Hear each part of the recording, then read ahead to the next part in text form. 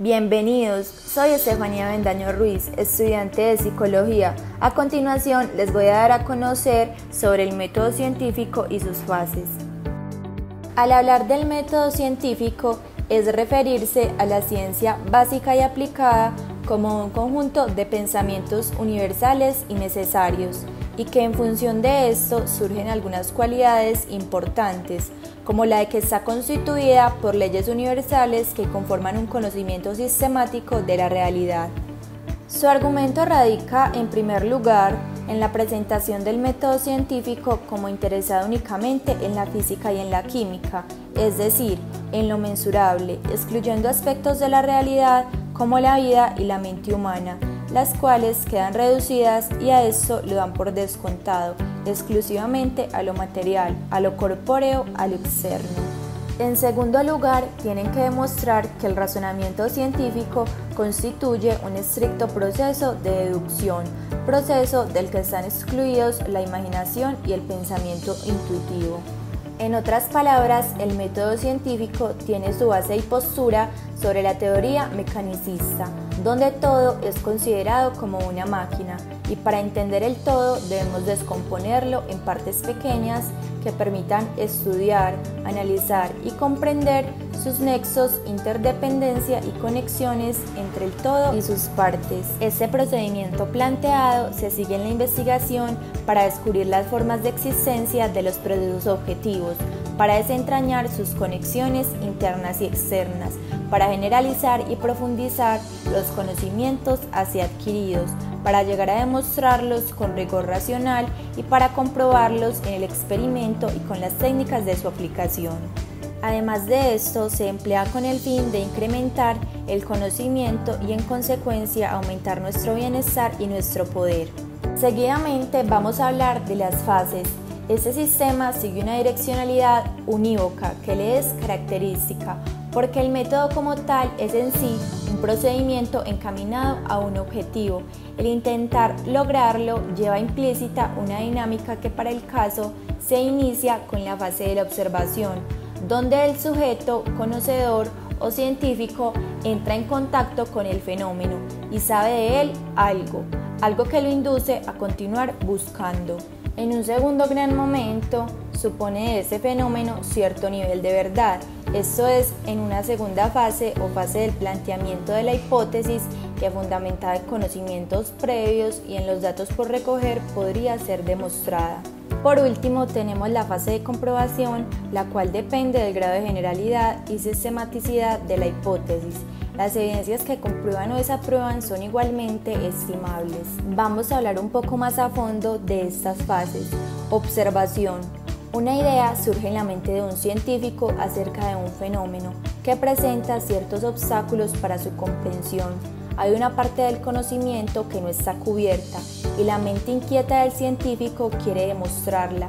El primer paso es formular una idea de forma inteligible para que quede planteada. La observación es quizás la fase más importante de todas porque gracias a ella se van a obtener los datos necesarios sobre los que se trabajará en las fases posteriores y que determinarán el conjunto del estudio. Durante la fase de observación es fundamental ser completamente riguroso con los hechos objetivos y dejar fuera de la observación cualquier aporte subjetivo o personal. La observación deberá consistir en el examen atento y riguroso de los hechos y fenómenos naturales observados que deberán ser recopilados para su posterior estudio. Esta fase consiste en recibir conocimiento del mundo exterior a través de nuestros sentidos o el registro de información por medio de herramientas e instrumentos científicos. La información registrada durante un experimento puede ser denominada observación. Formulación de hipótesis. Una vez que se han llevado a cabo todas las observaciones pertinentes, será el momento de formular una hipótesis a la luz de los datos obtenidos. Esto significa presentar una explicación posible y provisional que permita explicar los hechos observados de forma que no pueda haber error de ningún tipo en dicha explicación. Una vez pensado el problema, sus posibles soluciones y revisadas otras experiencias similares de otros autores, hay que realizar una hipótesis. ¿Y qué es esto? Pues es un enunciado conjetural sobre la relación que hay entre dos o más fenómenos o variables. Para definirla bien, se ha de expresar las relaciones entre variables de forma correcta e indicar la necesidad de verificar esas relaciones expresadas. Es el primer instrumento de trabajo de una teoría y además de esto han de ser comprobables para saber si son ciertas o probablemente falsas. Son el hilo conductor de toda investigación científica.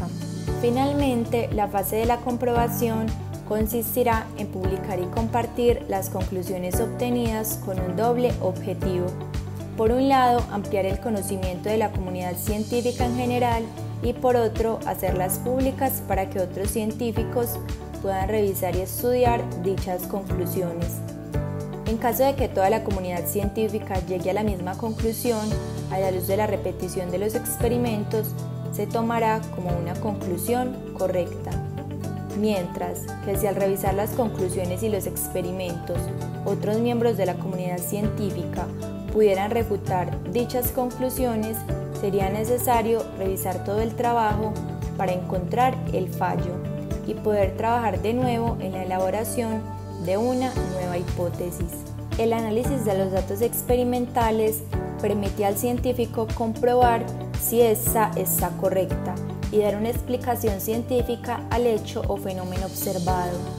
Luego de saber un poco de las fases del método científico, se debe tener en cuenta que dependiendo del área de estudio, el proceso del método científico puede sufrir alteraciones o incluso tener subfases que dependen de otras fases principales.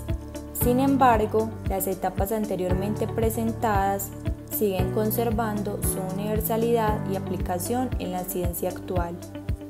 Gracias por su atención y espero hayan aprendido algo nuevo sobre el método científico y sus fases.